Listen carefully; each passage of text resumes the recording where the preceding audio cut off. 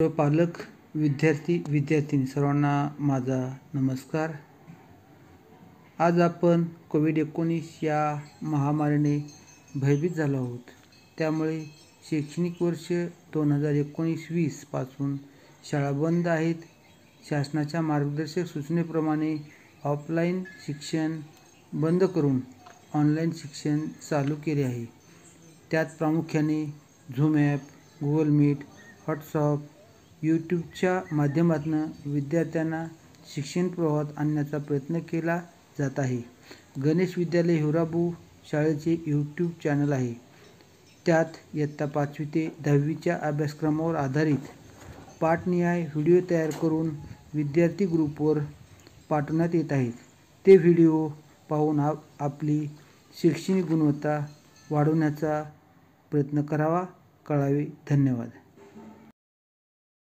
विद्यार्थी मित्रांनो आज आपण वर्ग सातवी विषय इतिहास प्रकरण पहिले इतिहासाची साधने.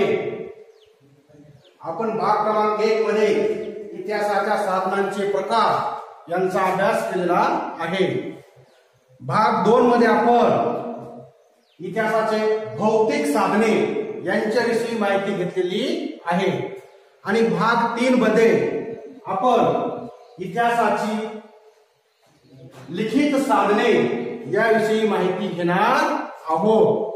त्या काळामध्ये देवनागरी अरबियन पर्शियन मोडी या भाषांची वळणे होती. भुर्जपत्रे पोथ्या ग्रंथ चरित्र फरमाने ही त्या काळातील लिखित साधने आहेत. यावरून आपल्या त्या काळातील ऐतिहासिक घटनांची माहिती मिळते. त्या काळातील राज्यकर्ते खाण्यापिण्याचे पदार्थ वेशभूषा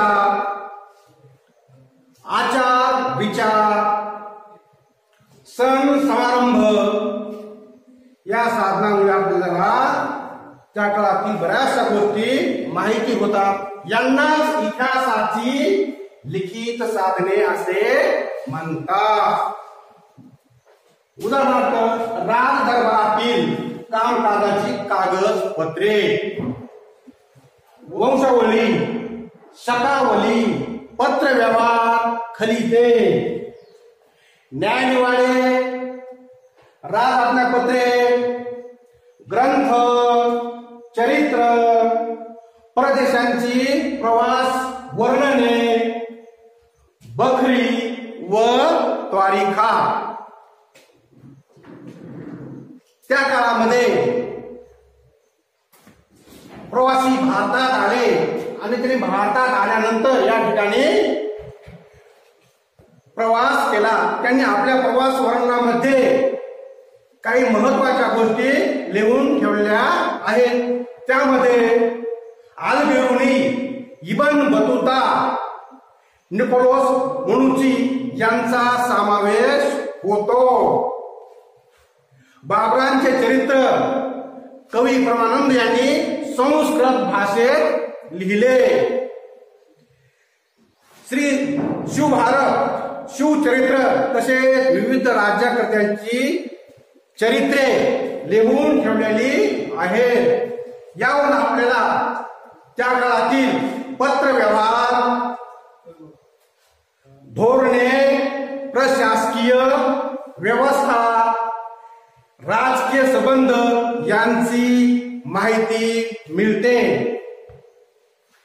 त्यानंतर का तारीखा तारीखा म्हणजे काय? तारीख किंवा घटना क्रम तर अशा प्रकारचे अनेक तारिका आपल्या इथं उपलब्ध आहे. त्यामध्ये आलबेरुनी भीमसेन सक्सेना मिर्झा हैदर यांनी दिलेल्या तारिका आजही उपलब्ध आहे. महाराष्ट्रामध्ये बखर हा शब्द खबर किंवा माहिती देणारा यावरून प्रचलित झालेला आहे. महाराष्ट्राच्या इतिहास लेखनामध्ये खबर या शब्दापासून बखर हा शब्द तयार झाला.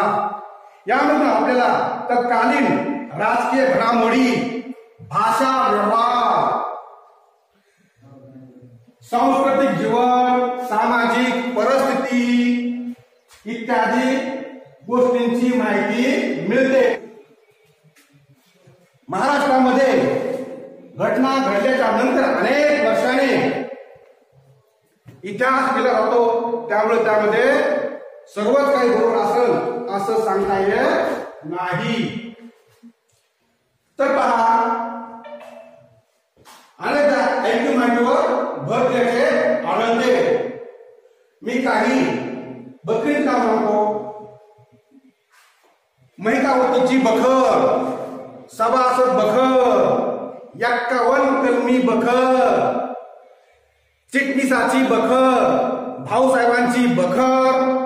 खरड्याच्या लढाईची बखर. या काही बकरी हो.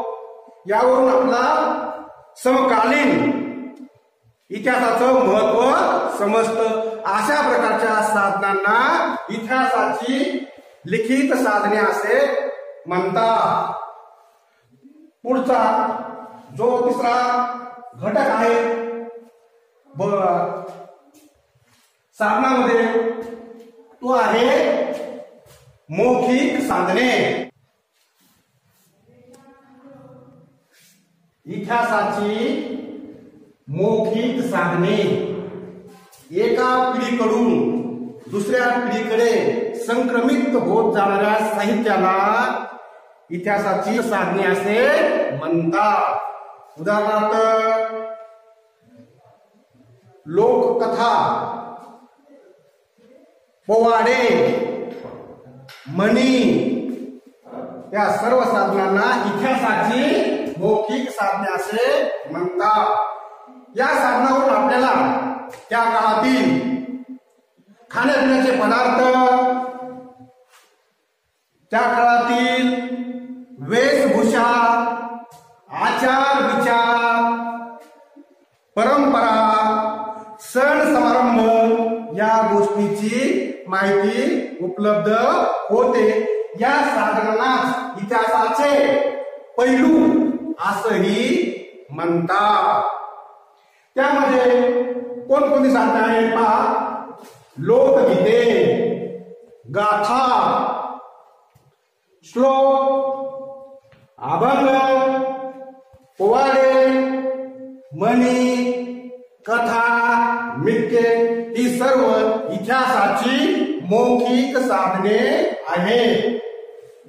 वरील तिन्ही साधनांचा उपयोग करून तिन्ही म्हणजे कोणती? भौतिक साधने लिखित साधने आणि मौखिक साधने या साधनांचा वापर करून इतिहास लिहिला जातो. इतिहासामध्ये संशोधन सारखं चालू असतं. संशोधनामधून नवीन नवीन गोष्टी नवीन नवीन साधने समोर येतात. म्हणून इतिहासाचं पुनर्लेखन केलं जात. आपला आपली आजी आजोबा आई वडील आणि आज आपल्या काळातील इतिहासाच्या पुस्तकाचा जर आपण विचार केला तर त्यामध्ये बराचसा बदल झालेला आहे. आणि मुलांनो शेवटचा पॉइंट आहे इतिहासाच्या साधनांचे मूल्य मापन ही सर्व साधने वापरण्यापूर्वी काही काळजी घेणे आवश्यक असते. त्यांची विश्वसनीयता तपासावी लागते. यातील असल कोणती आणि बनावट कोणती हे शोधावे लागते.